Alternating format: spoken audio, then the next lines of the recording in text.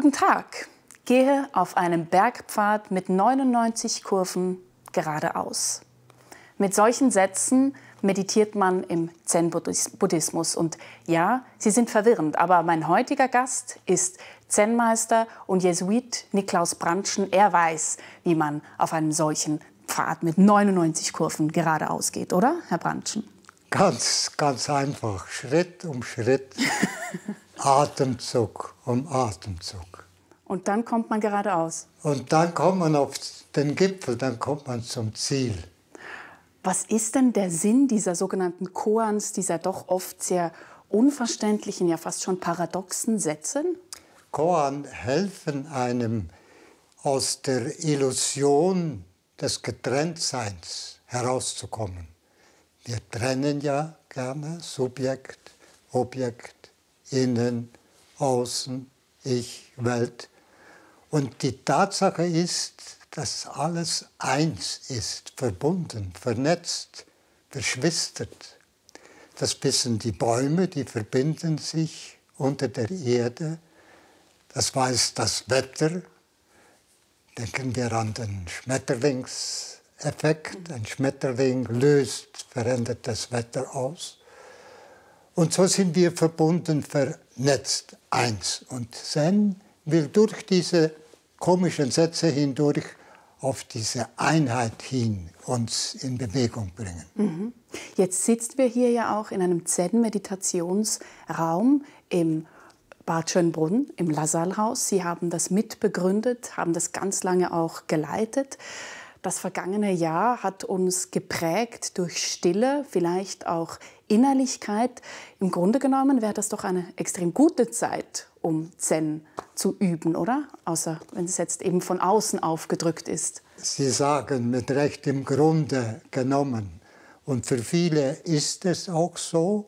Für viele ist diese auferlegte Auszeit eine Chance, dass sie weniger reisen, mehr Zeit haben, mehr Zeit haben für die Pflege der Innerlichkeit. Es gibt die anderen, für die ist es sehr schwierig, diese Zeit der Isolation, die Unsicherheit, die Probleme, die damit verbunden sind, auch häuslicher Art, finanzieller Art. Aber es gibt andere, die sagen, in dieser, in dieser Zeit habe ich mehr zu mir gefunden. Das finde ich ganz spannend, was Sie jetzt ansprechen, weil genau den Eindruck habe ich auch. Es gibt doch die Stille, die einem auch reicher macht, zum Beispiel eben, wenn man hier äh, für längere Zeit schweigt eben und dann die Stille, die viele Leute auch zu Hause erlebt haben, die mit Einsamkeit verbunden wird. Das ist eine qualitative Differenz. Ja, es gibt verschiedene Qualitäten der Stille. Also das einmal kann man unterscheiden zwischen Vereinsamung, einsam und Stille.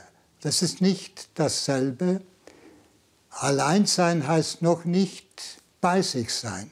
Es kann zur Vereinsamung führen. Mhm. Alleinsein kann aber auch zu sich führen. Und dann gibt es da noch einmal verschiedene Tiefen der Stille. Es gibt die sogenannte, ich nenne das gefühlte Stille, wenn alles so still ist, wenn wir zur Ruhe kommen so wie jetzt hier in diesem Raum. Aber es gibt sozusagen noch eine Stille hinter der Stille, die wir nicht begreifen können, nicht erfassen können. Die umfängt uns, die begreift und fasst uns, die ist größer. Und das ist das, was ich vorhin sagte, mit der Dimension, in die wir hineinreichen im Schweigen, in der Übung wo die Einheit ist, kein Kommen und kein Gehen, kein Vorher und kein Nachher, Raumfreiheit, Zeitfreiheit oder eben auch Stille. Und um diese Stille geht es im letzten. Also um die Stille hinter der Stille letztlich. Sozusagen, ja. ja. Wie haben Sie denn für sich selber die Stille entdeckt, als eben auch Schatz? Es braucht Zeit. Es braucht Zeit, aber ich darf sagen, ich hatte eine gewisse Affinität zur Stille durch meine Herkunft in den Bergen.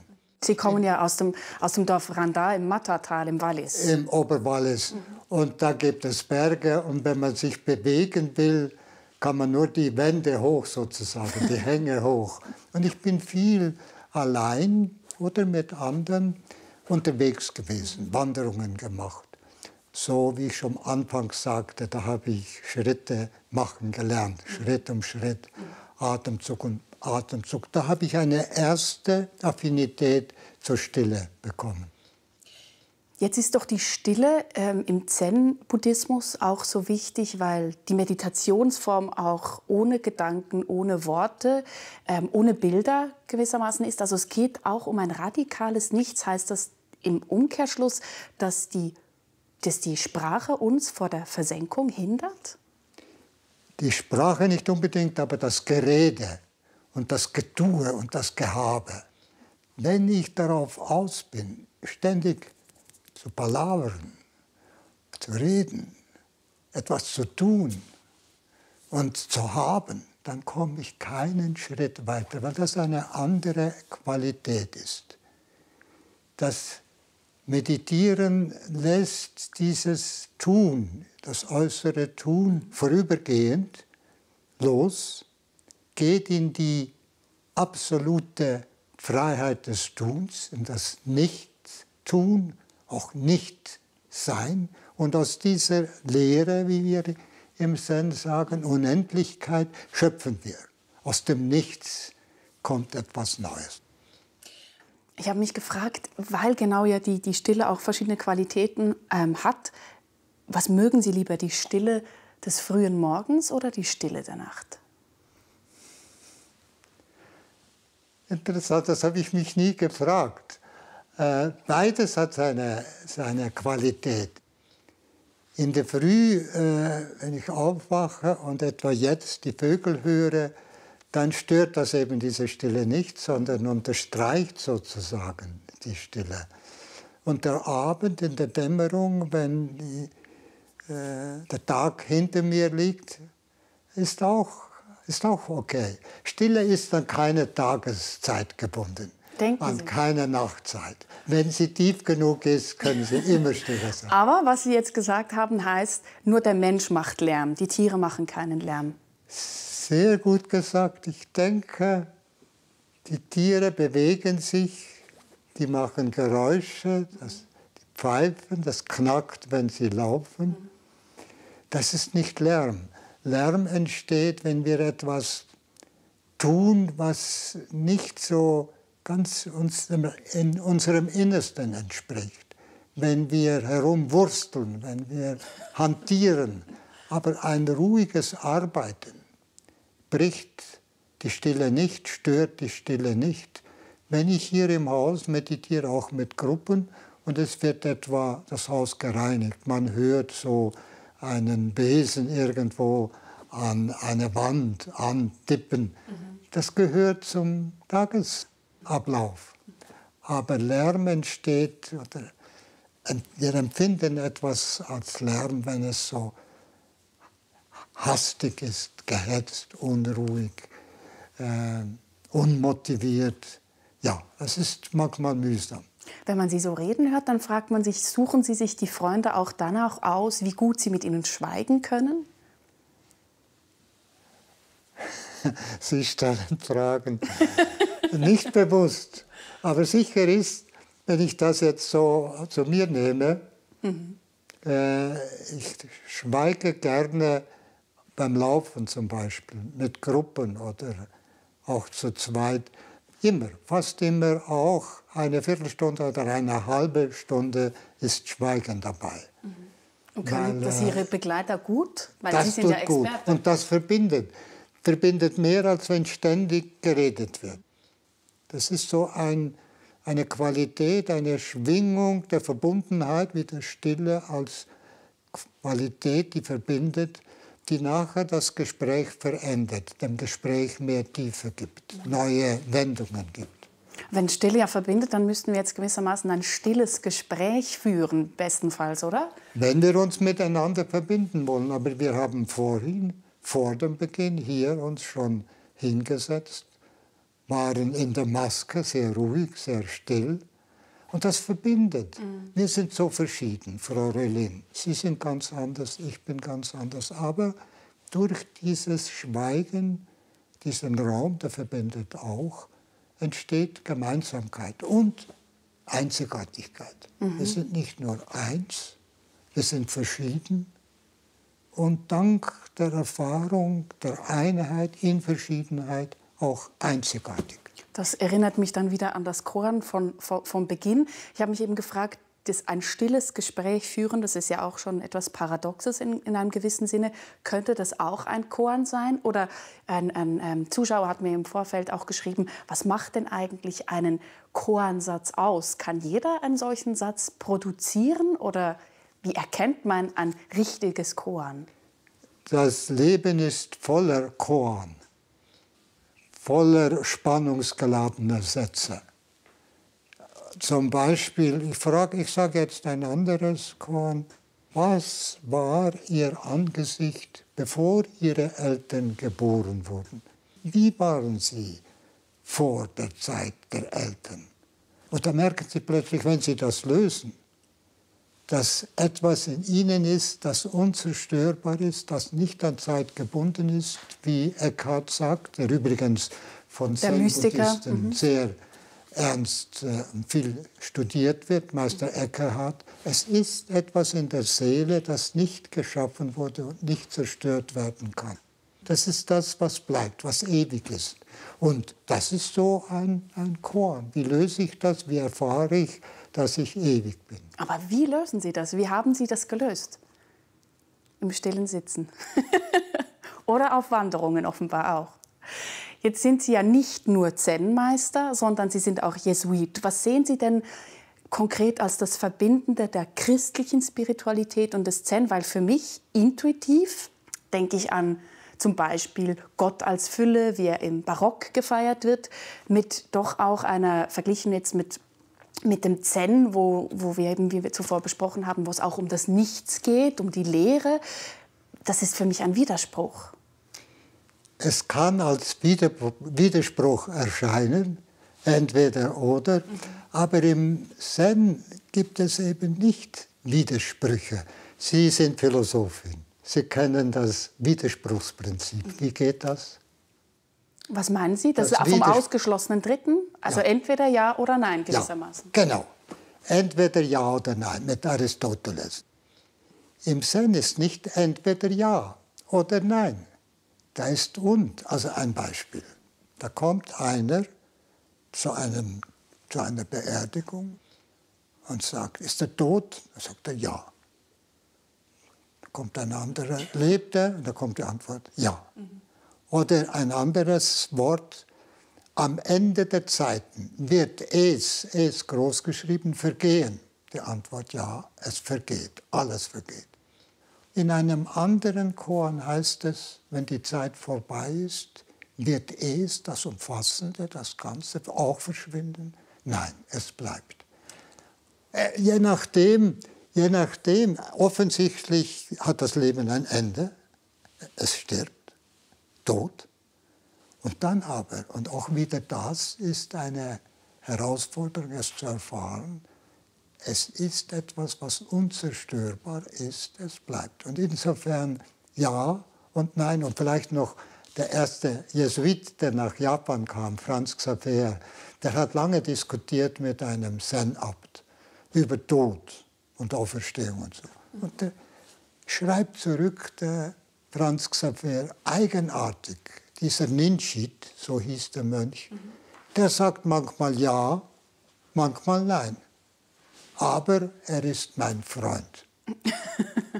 Jetzt haben Sie es aber elegant gelöst. Trotzdem, wenn Sie jetzt uns ein Beispiel geben möchten, wo genau Sie selber in Ihrem auch Lebensvollzug und Ihrer ganzen Be Begegnung auch mit dem Zen, Sie waren ja oft auch in Japan, wo sehen Sie denn konkret das, das Verbindende?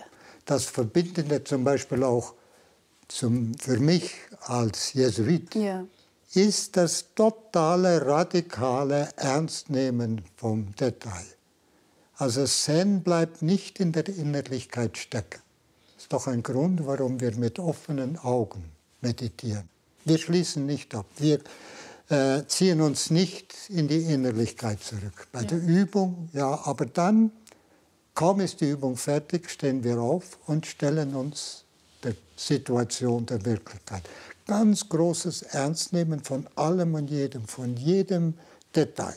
Und das entspricht dem Ignatius von Loyola, der wirklich durch die lange Schulung auch, durch eine tiefe Erfahrung, die ähnlich ist wie eine Zen-Erfahrung, überall und in allem Gott gefunden hat. Man kann Gott, sagt er, überall finden. Und ich sage pointiert, man kann Gott überall finden, sogar im Gebet. ja. Das ist wunderbar. Jetzt frage ich mich trotzdem, sehen Sie nicht, dass es auch ein, ein Problem gewissermaßen geben könnte von einer Vereinnahmung, ähm, vielleicht sogar von einer Form von Kolonialisierung von einer anderen Kultur? Das ist bestimmt ein Vorwurf, den Sie auch oft hören, weil Sie das so verbinden, auch hier im Haus. Genau. Ich hole ganz kurz aus. Hier sind wir im Sendo, im Meditationsraum. Den habe ich vor 15 Jahren eingerichtet bei einer Neupositionierung. Da kam ein französischer Mitbruder, sah diesen Raum und sagte, tja, c'est une antichambre. Er wollte sagen, das ist der Vorraum fürs Eigentliche. Und dann sagte ich, no, c'est une chambre. Dieser Raum hat Gültigkeit in sich. Für sich, ja.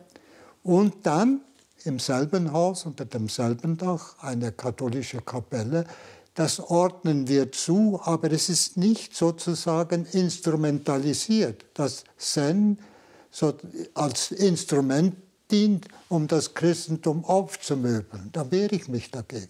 Sondern? Es sind zwei Wirklichkeiten wie zwei Hände. Nehmen wir mal Ost und West. Und die kommen zusammen. Nicht zwei, nicht eins ist die Formel. Zwei eins. Oder die Hände von Albrecht Dürer. Die betenden Hände. Meist kopierte Hände, äh, Motiv von Dürer. Und diese Hände sind so zum Verblüffen ähnlich oder dasselbe wie das Gascho. Das Gascho? Gascho heißt wörtlich aneinandergelegte Hände, wird im Zen immer wieder benutzt ein Ausdruck des Respekts, der Achtung voreinander. Wenn ich mich vor ihnen verbeuge, ist das ein Ausdruck der Dankbarkeit, der Achtung. Und so diese Haltung, ob im Ost oder West vollzogen, ist menschlich. Und auf diesen Wegen, auf diesen einfachen Ausdrucksweisen begegnen wir uns. Nicht in der Theorie, da gibt es Unterschiede, aber im ganz alltäglichen Vollzug und in der Diskussion, im intrareligiösen Dialog. Es gibt den, gibt den interreligiösen zwischen genau. Menschen und dann gibt es in uns eine Begegnung, einen Dialog.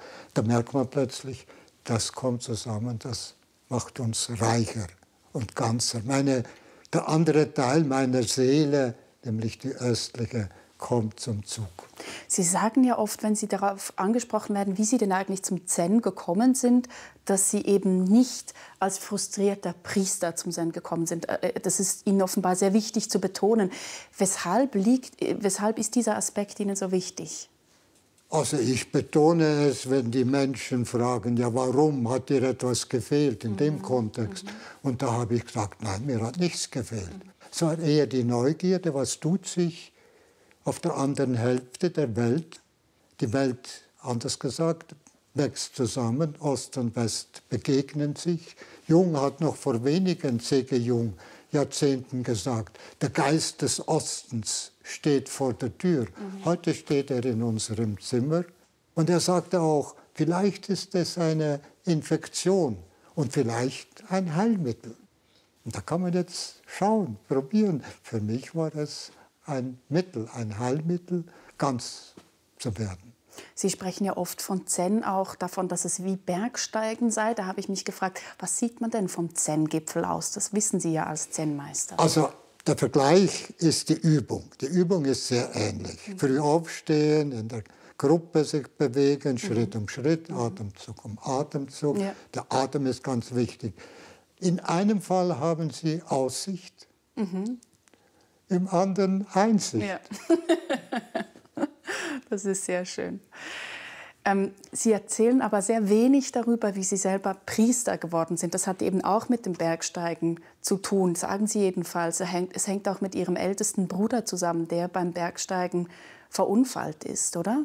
Ja, das war wie, ich war damals 18, es war ein unverschämt schöner Herbsttag. Ja. Der Sarg war aufgebaut im Dorf, auf dem Platz. Und da kam mir so der Gedanke, was soll dieses Leben? Warum lebe ich? Wozu? Und dann später habe ich festgestellt, dass auch Zen-Buddhisten oft durch den frühen Tod eines Bruders oder einer Mutter äh, diesen Weg gefunden haben. Es sind so Schocktherapien, wo man sagt, ja, vielleicht ist ein anderer Weg für mich als der übliche der richtige. Und dann habe ich ihn gewählt und das hat sich bewährt. Es hat sich bewährt, also das heißt aber, dieses Schockerlebnis hat Sie dahin geführt, aber das ist ja die Entscheidung, wirklich auch als Priester zu leben, in, in, in, diesem Orden der Jesuiten auch zu bleiben. Das ist ja ein ziemlich langer Weg, oder? Es ist eine Entscheidung, die ich mit 22 Sehr getroffen jung. habe. Ja. Und dann ist ein langer Weg des Vertrautwerdens mit dem Geist des Ignatius. Äh, durch Studien, durch spirituelle Praktiken, dann meine ergänzenden Studien waren Aufenthalte in Japan. Ja, es ist ein, ein Weg, äh, der dahin führt, wo ich jetzt bin. Und mein Glück, und da bin ich ewig dankbar, mein Glück war, dass ein älterer Jesuit, der zuständig war für mich, gesagt hat, du könntest eigentlich nach Japan mhm. gehen. Und das ließ ich mir nicht zweimal sagen. Ich bin gegangen und immer wieder und noch einmal. Und so hat das einen aus zwei wurde eins. Können Sie sich erinnern, weshalb Sie denn genau die Jesuiten, also weshalb Ignatius von Loyola, weshalb diese, dieser Orden und nicht ein anderer, hätte das, keine Ahnung, äh, äh, die, die ein, ein Motiv war die Weltoffenheit des Jesuitenordens. Es die ja jetzt sehr gut zusammenpasst. Es genau. gibt Klöster, Mönche, die Mauern haben, Kutten, die sich eher zurückziehen, die warten, bis die Leute zu ihnen kommen. Sie betonen die Gastfreundschaft. Ja. Jesuiten ist ein apostolischer Orden. Wir warten nicht, wir gehen zu den Leuten. Wir gehen zu den Leuten da, wo sie sind und holen sie da ab, wo sie sind. Ja. Nun leben Sie ja schon seit bald fünf Jahrzehnten hier eben in, im Bad Schönbrunn, im Lasalle-Haus. Sie haben hier eben auch gelehrt und so weiter. Das Haus ist nicht nur speziell wegen diesem zuvor angesprochenen Brückenschlag zwischen christlicher Spiritualität und östlicher Spiritualität sozusagen, sondern auch aufgrund der Architektur. Man sieht es schon um uns herum. Man nennt das auch harmonikale Bauweise. Und wenn ich das richtig verstanden habe, geht es darum, dass die Architektur auf den Menschen wirken soll, so wie Musik zum Beispiel auch auf den Menschen wirkt. Merken Sie diese Wirkung? Oh ja. Wie wirkt oh ja. es denn? Also einmal, es wird mir auch nach 50 Jahren in diesem Haus nicht langweilig. es ist nicht Kaserne, links und rechts Zimmer und mitten ein Gang. Es ist durchkomponiert. Es ist harmonikale Bauweise heißt, der Architekt hatte ein Saiteninstrument im Büro, zupfte, hörte, komponierte. Das klingt effektiv. Da also ist dieses Haus ein Musikstück? Ja, kann man so sagen. Aha. Und wie und klingt es? Es ist ein Instrument und wir bespielen es. Ja. Also der Einzelne bespielt es jeweils. Ja. Aber hören Sie hier auch Trompete raus? Ich habe nämlich gelesen, dass Sie Trompetenkonzerte mögen. Ah, das hat eine bestimmte Bewandtnis, dass bei meiner Geburt der Vater Trompete gespielt hat. Mhm. Äh, wir haben gelegentlich Konzerte äh, im großen Saal oben, ja. Das, das, klingt, aber das klingt auch ohne Instrumente. Mhm. Es ist, das ist hörbar. Und dann kommt noch dazu, dass das Haus wie in die Landschaft hineingebaut wurde mit zwei Armen. Es, ist ein Kreis, aber nicht geschlossener Kreis. Geschlossener Kreis wäre Abschluss. Offener Kreis, das heißt, wir schließen uns nicht ab, sondern wir öffnen uns. Und dann gibt es Räume wie diese, die sind maximal geschlossen und die Hallen sind weit offen und auch hier öffnen und schließen, innen und außen, verbindet sich auch da eine Gemeinsamkeit zur Spiritualität des Zen. Und auf die Trompete noch zurückkommend, weil mich das noch interessiert hat, äh, dieses, dass Sie dieses Blasinstrument offenbar auch ähm, so mögen. Sie haben selber auch Trompete zu lernen begonnen, oder? Wie steht es darum? Ich habe auch Klavier zu lernen begonnen, aber noch rechtzeitig aufgegeben. das heißt, Sie haben es nicht weitergeführt? Ja. Also Sie werden uns kein Ständchen jetzt Nein. spielen. Schade. ähm, ein, ein, anderer Punkt, der mich sehr interessiert an Ihnen, Sie haben ja ähm, dieses Buch auch geschrieben mit Hilfe Ihres Tagebuchs. Sie haben ein Leben lang Tagebuch geschrieben. Ich bewundere das, weil ich das selber irgendwie bis jetzt nicht hingekriegt habe. Immer wenn ich mich hinsetze und etwas notieren möchte, befremdet mich das irgendwie. Ich äh, entgleite mir da selbst. Dann habe ich mich gefragt, Jetzt, wo Sie das selber so lange gemacht haben, wie haben Sie das wirklich gemacht? Und waren Sie immer ganz ehrlich oder haben Sie da auch idealisiert? Schön, Sie fragen sehr direkt. Also ich lasse mich leiten von der jüdischen Dichterin Rose Ausländer. Der mhm. Tag ist mein Buch, also Tagebuch. Ja. Der Tag ist mein Buch. Hier trage ich mein Leben ein, an dem ich mich erfreue, dass ich erleide. Alles, Liebes und Leides, Freude und Mühe und Not trage ich ein. Und jetzt neuerdings, Sie haben nach der Stimmung, der Stille am Morgen und am Abend gefragt. Neuerdings schreibe ich das Tagebuch am Morgen, mhm. nachdem ich meditiert habe, gefrühstückt habe, setze ich mich hin, schaue auf den vergangenen Tag zurück und dann halte ich fest, was so war. Und es hilft mir, dankbarer zu sein. Immer wieder kommt dann im Tagebuch, mein Gott, habe ich Grund, dankbar zu sein. Und schreibt dann Danke, danke, danke. Ich denke, dass ich morgen früh, wenn ich das Tagebuch schreibe, auch Bezug nehmen werde auf dieses unseres Gespräch. Und dann hoffentlich auch mit Danke. Ich hoffe, dass es, dass es für Sie ein angenehmes Gespräch ist. Sie haben eben auch gesagt, es hilft Ihnen, ähm, bewusster zu leben. Das kann ich natürlich sehr gut verstehen. Ich habe mich dann gefragt, wenn Sie ja eben hier dieses Buch 2017 mithilfe dieses, dieser äh, Tagebuche geschrieben haben, wie war das für Sie, diesen kleinen Niklaus Brandschen wieder zu, wieder zu treffen gewissermaßen?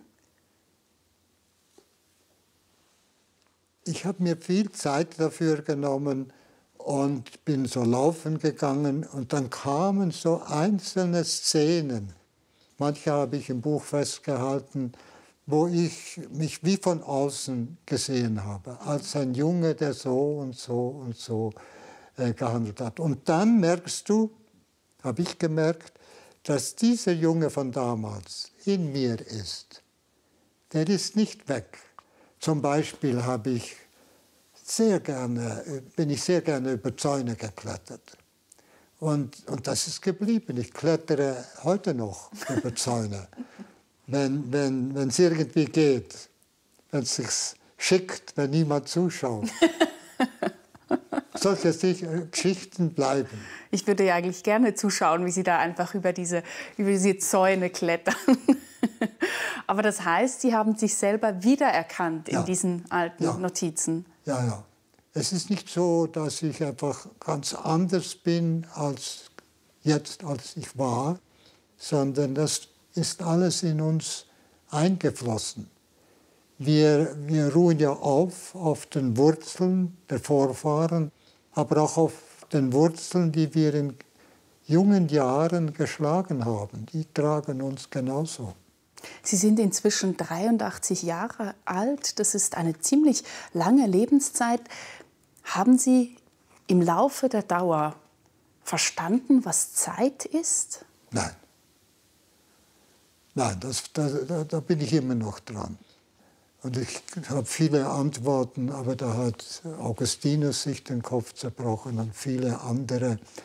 Mein Zugang ist ein Wort von Angelus Silesius. Zeit ist wie Ewigkeit und Ewigkeit wie Zeit, so du nur selber nicht machst einen Unterschied. Mhm. Zeit ist wie Ewigkeit und Ewigkeit wie Zeit. Und wenn ich das so auf mich wirken lasse und dann stehe, dann komme ich in eine Präsenz hinein, wo diese gemessene Zeit und der Raum der Zeitfreiheit im erfüllten Augenblick zusammenkommen. Und dann bin ich präsent, anwesend. Und ich hoffe, Frau Rollin, dass ich für Sie genügend präsent war. Ich danke Ihnen ganz herzlich, Herr Brandschen, für dieses schöne Gespräch. Schön. Ja, wir bleiben gleich beim Zen und nehmen Sie mit nach Japan, genauer gesagt nach Kyoto. Dort steht der bekannte und berühmte Daitokuchi-Tempel, eine filmische Entdeckung oder vielleicht sogar Erleuchtung. Haben Sie einen schönen Sonntag.